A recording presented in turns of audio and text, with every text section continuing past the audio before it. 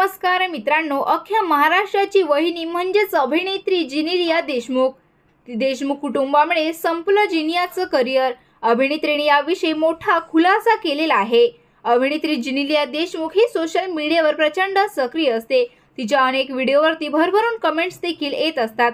तसेच आता तिने करीना कपूरच्या व्हॉट वुमन वॉन्टमध्ये हजेरी लावली होती. या शोमध्ये तिने अनेक प्रश्नांची अगदी मनमोकळेपणाने उत्तर दिलेली आहे. यावेळी तिने सिनेसृष्टीतून ब्रेक का घेतला होता यावरही धक्कादायक खुलासा केलेला आहे. मनमोकळेपणाने त्यांच्या नातेविषयी तिने खुलासा केलेला आहे.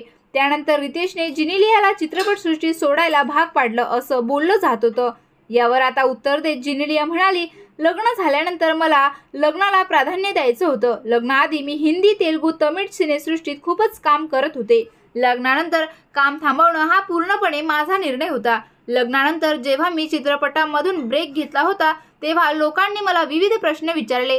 रितेशचे वडील राजकारणात असल्याने देशमुख कुटुंबियांनी माझी फिल्म कारकिर्दी संपवली असं अनेकांनी गृहीत धरलं पण तसं काहीच नव्हतं. याबरोबरच लोक त्यावेळेस असंही विचारत होते की तुझे चित्रपटांमध्ये काम करणं रितेशने थांबवलं का?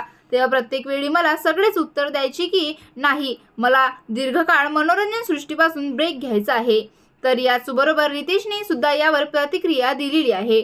तो म्हणतो कामातून ब्रेक घेणं सर्वस्वी तिचा निर्णय होता. तिला यापूर्वीच पुन्हा एकदा सिनेसृष्टीत पदार्पण करायचं होतं पण कोरोनामुळे ते लांबलं. आणि आता वेड या सिनेमामध्ये ती झडकलेली आहे. आणि या सिनेमाला फारच भरभरून प्रतिसाद तुम्ही दिलेला आहे. त्याबद्दल धन्यवाद.